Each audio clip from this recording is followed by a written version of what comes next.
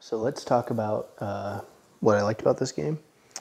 So uh, first of all, this the sheet that shows you like how to play your very first game, you know how to set it up. It's all kind of set up for you. Really lets you get going very well. Um, I really like the delayed actions, like having to kind of plan ahead one turn and then be like, okay, I'm going to do this.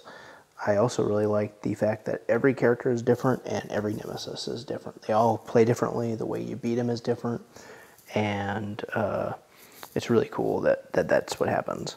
Um, and uh, I mean, just all that into a really good package of cooperative gameplay. You know, for the nights when you don't want to be like struggling against other players, you can kind of like work together as a team and kind of puzzle solve.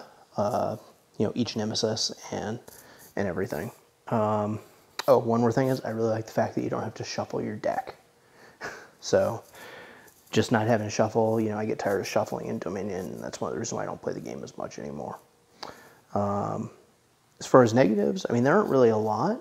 Uh, maybe depending on the random set of circumstances, like which cards you get, uh, the nemesis can be very difficult to defeat. Um, and they even have like an increased difficulty mode for if you're getting too good at this game, you get increased difficulty.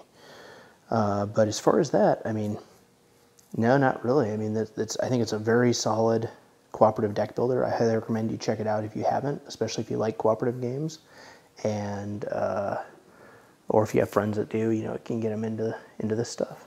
So there you have it, uh, my review for Aeon's End uh, War Eternal.